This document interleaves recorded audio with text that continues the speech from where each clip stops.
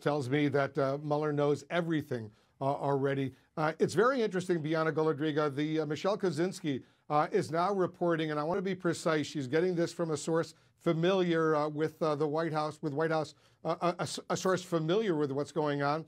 That White House officials prepping the president for the G20 summit in Argentina. The president's on his way there right now. They say that President Trump is, quote, in a terrible mood, spooked, and completely distracted. that's pretty extraordinary going into a high level series of meetings like this.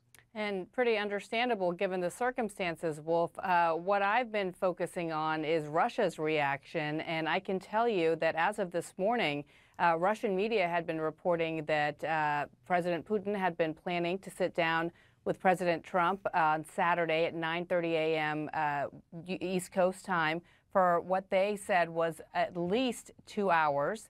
Uh, they named the hotel, and and given the um, given the detail in this confirmation is something we didn't even see leading up to the Helsinki meeting. There was a lot of vague uh, detail going into that meeting, what time it would take place, if it would take place.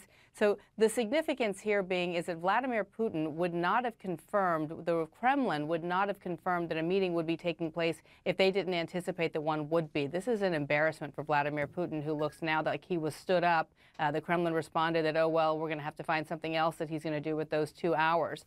But that shows the quick change in the president's mood and the quick change in the president's thought process going into this summit, given that just an hour before the Michael Cohen news came out, he acknowledged that he very well would likely sit down with Vladimir Putin.